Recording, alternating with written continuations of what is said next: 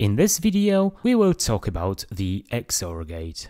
It has two inputs and one output. The XOR gate implements exclusive OR logic. It means that the output is 1 only if exactly one of the inputs is 1, otherwise it is 0. You may think of its function like a comparator. If the two inputs are in different states, the output is 1. If both are at the same logical level, the output is 0. Yet another way to look at the XOR gate is that it negates the logical state of one input when the other one is high and leaves it unchanged when the other one is 0. In this experiment, I'm going to use this 7486 chip containing 4 XOR gates. The pin layout is the same as those we saw in all other gates, with the exception of 7402, so the inputs of the first gate are on pins 1 and 2, and the output on pin 3.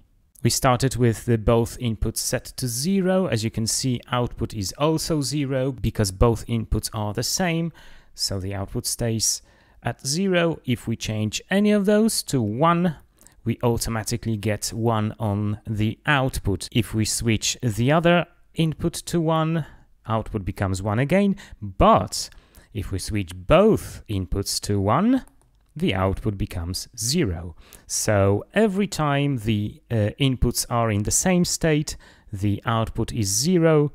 Uh, every time the inputs are in different states, the output is 1. As you may expect, having watched previous videos, the Intel 8086 has the XOR instruction to do bitwise XOR, which does what the hat operator does in C or C++.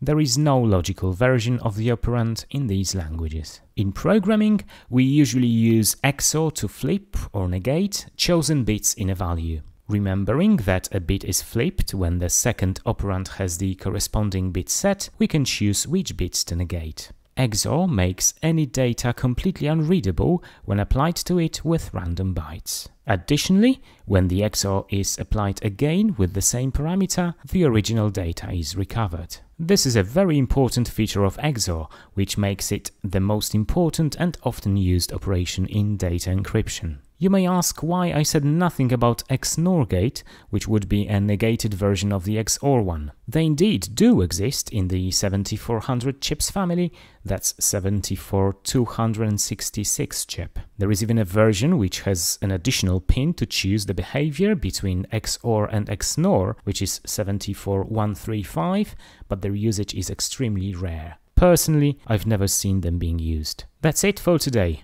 Thank you for watching and I hope to see you soon.